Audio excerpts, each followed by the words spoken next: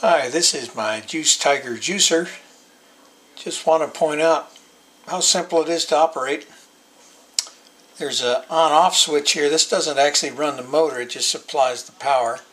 And then the actual motor is driven by pushing in this the bottom of this tab here on the side.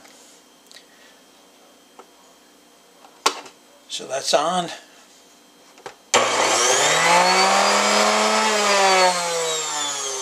That's running it.